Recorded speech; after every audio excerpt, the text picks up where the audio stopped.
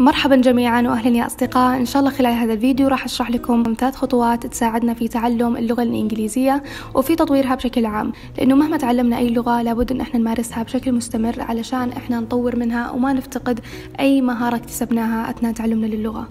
أولا راح أشرح فكرة كيف إنه إحنا ممكن نتعلم اللغة الإنجليزية خلال يوم واحد فقط. الفكرة بشكل مختصر إنه لازم نختار يوم واحد في الأسبوع يكون اليوم الأنسب لنا إن إحنا نكرس في تعلمنا اللغة الإنجليزية بحيث لما نتعلم اللغة خلال يوم واحد راح يأثر هذا التعلم على باقي الأسبوع لما نصادف أي كلمة مشابهة ولما نمارس الكلمات اللي إحنا تعلمناها. خلال الأسبوع المقبل راح نشوف فيه تطور وبدون ما نحس راح نتعلم أشياء مرة كثير. فراح أبدأ الحين بشرح الفكرة بشكل كامل وراح تستوعبونها معي وبإذن الله راح تفيد كثير منكم. راح أركز إن شاء الله على ثلاث خطوات جدا مهمة وأساسية عشان نتعلم أي لغة. أولا اللي هي القراءة ثانيا الكتابة وأخيرا اللي هي المحادثة. طيب أول شيء خلونا نبدأ بالقراءة. بالنسبة للقراءة ما أتكلم عن قراءة الكتب بحد ذاتها ولكن قراءة أي شيء معين لأنه إحنا أشخاص قارئين ونقرأ كل يوم مقالات captions على صور بالإنستغرام. أحيانا ممكن يكون على صفحات Tumblr مليان مقالات مرة حلوة تغريدات بتويتر. وبالتأكيد قراءتنا لها راح تطور من لغتنا الإنجليزية. أحيانا إحنا نتفاداها ونحاول إنه ما نقراها ويعني نيأس من البداية. ولكن لو أعطينا نفسنا فرصة في قراءتهم راح نحصل إنه اللغة عندنا تتطور بشكل لا إرادي. بالبداية لما كنت ما أفهم معنى كلمة معينة كنت أحاول إني أفهم الكلمة من السياق حق الجملة. وهذه الطريقة أشوفها هي الطريقة الأنسب والأفضل لأنه لما إحنا نحاول نترجم كل كلمة ما فهمناها راح ياخذ مننا وقت وراح نحس بالملل وبالأخير نحس بالإحباط ونوقف عن هذه التجربة بشكل كامل. والطريقة الثانية اللي كنت مرة أحب إني أسويها إني أظلل الجملة اللي ما فهمتها تقريبا وأشغلها صوتيا باستخدام الماك بوك جدا يعني طريقة سهلة وأسمعها. لما أسمعها أحس أني فهمتها أكثر وأحس أنها صارت سلسة.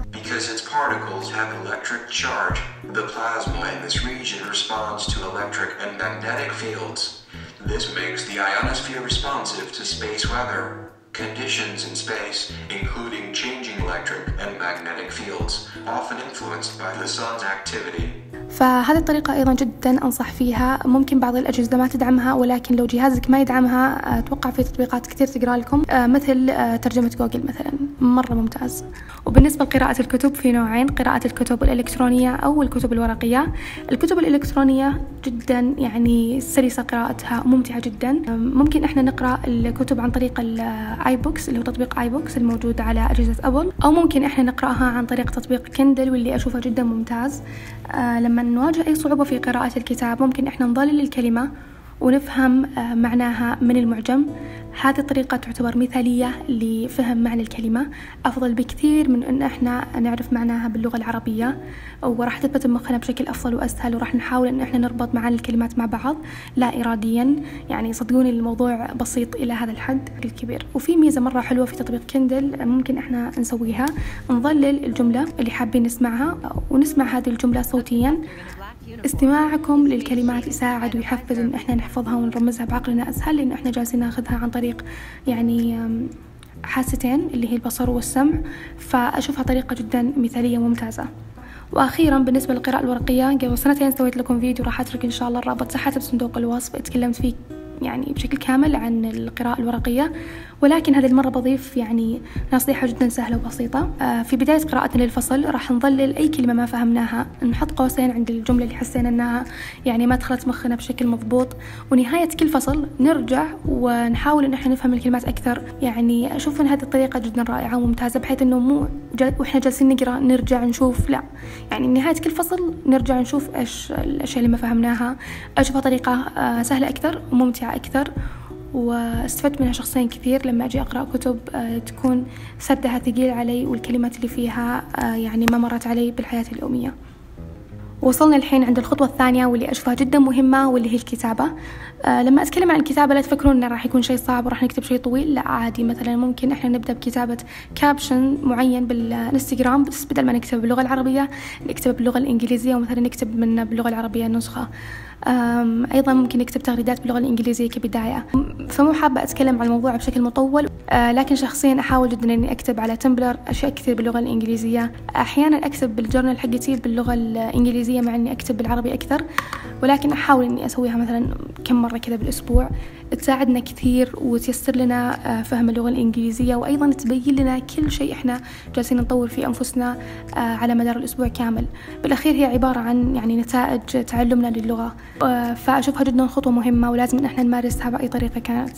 وبالنسبة للخطوة الأخيرة واللي أشوفها جدا مهمة وأساسية خصوصا للتعلم عند المبتدئين واللي هي المحادثة. شخصيا حملت تطبيق كامبلي تقريبا قبل كم يوم وتحمست مرة إني أجربه. ما اشتركت فيه للحين ولكن كان عندهم تجربة خمس دقائق للمحادثة. فمرة تحمست فاتصلت بواحدة من المعلمات وتكلمنا لمدة خمس دقائق ومرت كأنها خمس ثواني. المعلمة كانت جدا بشوشة ولطيفة وما كنت حابة المكالمة تخلص من كثر ما أنه حسيت كذا مو جالسة أتعلم مو جالسة أمارس اللغة لا جالسة كذا يعني أتكلم مع شخص عادي ونتكلم مواضيع جدا لطيفة وحلوة. فعلى الرغم من أن تجربتي كانت جدا قصيرة خمس دقائق ولكن حسيت بفرق جدا كبير جدا استمتعت. فأفكر الحين صراحة أني أشترك بالتطبيق هذا. ولو عندكم أنتم تطبيقات ثانية تنصحون فيها اكتبوها تحت بالتعليقات لأنه شخصيا أشوف سالفة إنه إحنا مثلا نروح عند معهد معين نتعلم اللغة الإنجليزية أشوفها شوي مملة كأنها مدرسة يعني وما أحس إن إحنا جالسين نتعلم بشكل حلو وممتع وسهل وسلس. لكن تطبيقات كهذه أشوف إنها جابت يعني نتيجة مرة حلوة. فأنتم حملوا التطبيق وجربوا الخمس دقائق المتوفرة واكتبوا تحت في التعليقات تجربتكم مع هذا التطبيق. شخصيا أنا مرة عجبتني. وبكذا يا أصدقاء نكون وصلنا لنهاية الفيديو. أتمنى إن شاء الله الفيديو أفادكم استمتعتم واستفدتم من الفيديو. إذا عجبكم الفيديو لا تنسون تعطون الفيديو أكبر لايك.